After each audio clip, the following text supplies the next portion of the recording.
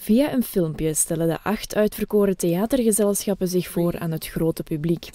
In september volgend jaar staan ze hier in Aarschot op de planken.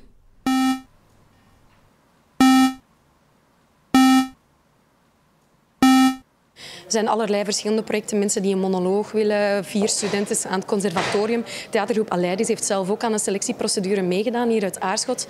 En die zijn er ook, uh, die zijn er ook bij geraakt. Dus dat zijn uh, acht projecten uh, die op het festival gaan tonen wat ze eigenlijk een jaar lang gemaakt hebben. Wat begonnen niet met een ideetje.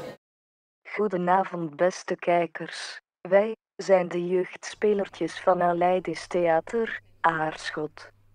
En inderdaad, er zal ook talent zijn van eigen bodem. Het Aleidis Theater is samen met de zeven andere toneelgroepen gekozen uit meer dan 50 inzendingen. Het gaat een voorstelling zijn rond communicatie en miscommunicatie, maar de regisseur gaat het zelf nog ontwikkelen aan de hand van improvisaties met de acteurs. Dus uh, het is voorlopig nog een heel vloeibaar begrip, maar eens dat we begonnen zijn, gaat het waarschijnlijk wel rap zijn vorm krijgen en dan kunnen we er echt aan beginnen werken. Het is de eerste keer dat Open Doek een theaterfestival organiseert voor jong talent. Net nu de Vlaamse regering heeft aangekondigd fors te besparen op cultuur.